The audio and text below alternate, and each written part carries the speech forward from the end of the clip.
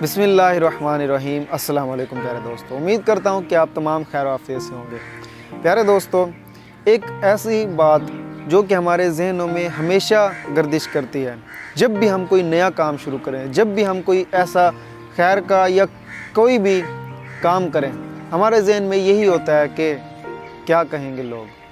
और यही सबसे बड़ा रोग है कि क्या कहेंगे लोग?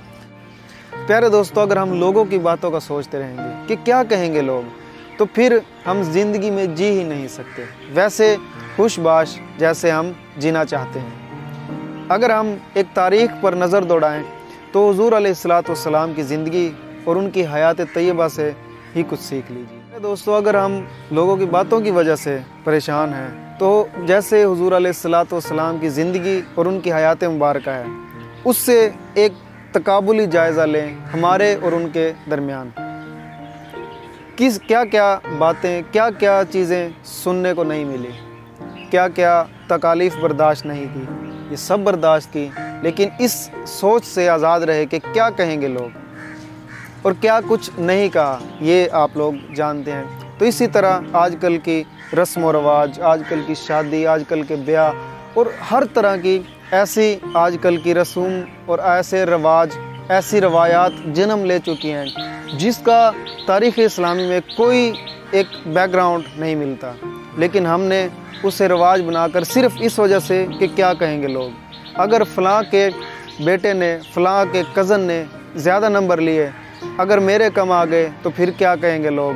अगर शादी करूँ, अगर कोई ऐसा फ़ंक्शन करूँ, जिसमें कोई इतना अल्लाह गुला ना हो, और कि उसी के कोई रिश्तेदार ने ज़्यादा ख़र्चा, ज़्यादा हल्ला गुला और ज़्यादा ऐसे फजूल रसूमात की हों।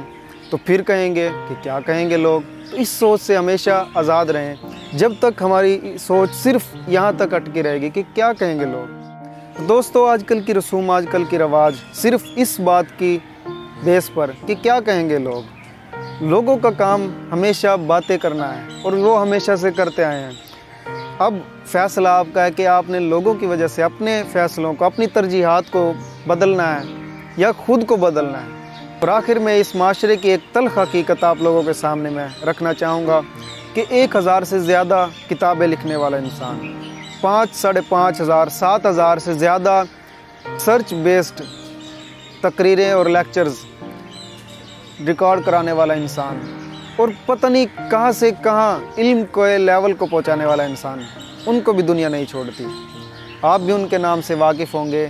शेख़ुल इस्लाम, प्रोफेसर डॉक्टर मोहम्मद ताहिरुल कादरी मुद्दज़िल्लाली लोग उनको भी तनकीद का निशाना बनाते हैं। अगर अगर हम यही सोचेंगे कि हमें लोग कुछ कहें तो ये नामुमकिन है। फिर एक काम करें, एक बंद कमरे के अंदर बैठें और आगे बढ़ने का सोचें ही ना। तब ये काम मुमकिन है। अगर कुछ ज़िंदगी में करना है तो फिर लोगों की बातों को बर्दाश्त करना होगा। और इस सोच से आज़ाद होना होगा कि क्या कहेंगे लोग। तो दोस्तों, सबसे बड़ा रोग क्या कहेंगे लोग? इस फ़िक्र से आज़ाद रहें। वसलाम